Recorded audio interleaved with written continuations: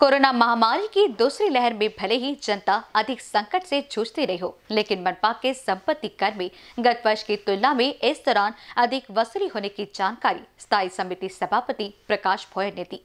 उन्होंने कहा कि मनपा का आम बजट पेश करते समय 30 जून तक संपत्ति कर भरने वालों को कर की राशि में 10 प्रतिशत छूट देने की घोषणा की गई थी। हालाँकि प्रशासन की ओर से बजट को अब तक मंजूरी तो नहीं दी गई है, लेकिन कई लोगों ने अब तक संपत्ति कर जमा कर दिया है।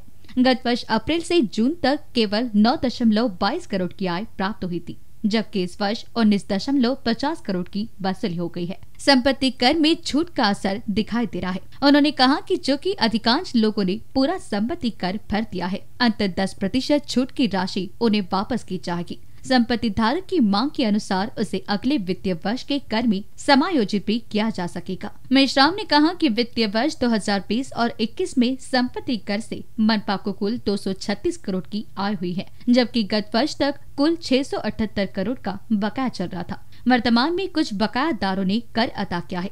मंगलवार को हुई स्थायी समिति की बैठक में आम बजट को मंजूरी देने के संदर्भ में वित्त अधिकारी से हुई चर्चा का हवाला देते हुए सभापति भोयर ने कहा कि कुछ तकनीकी कारणों से मंजूरी देने में भले ही देरी हुई हो, लेकिन एक दो दिनों में ही बजट को मंजूरी मिलने की आशा है। आज स्टँडिंग कमिटीची बैठक झाली। बैठकीमध्ये तीन विषय चर्चा करण्यात आले आणि तिन्ही विषयाला एक जे अधिकारी आणि कर्मचारी आहेत त्यांचे जे मोबाईल्स आहेत त्या मोबाईल संबंधीचा विषय होता त्यांच्या रेट संबंधीचे विषय होते.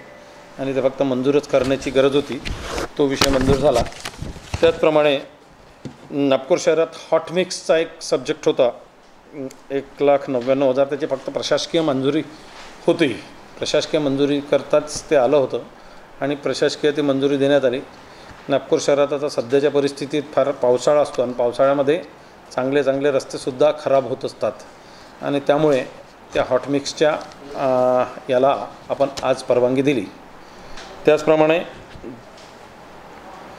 बगीचाच्या लगत एस टी पी प्लॅन्ट असे बारा ठिकाणी आपण नवीन एक प्रोजेक्ट नागपूर शहरात करतो आहे तर ते एस टी पी प्लॅन्ट बनून तिथूनच त्या तिथून पाणी घ्यायचं ते शुद्धीकरण करून ते बगीच्यांना द्यायचं.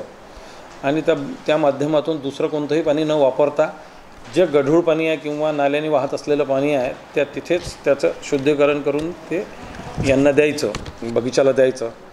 हा या विषयाबाबत आम्ही मंजुरी देण्यात आली आहे.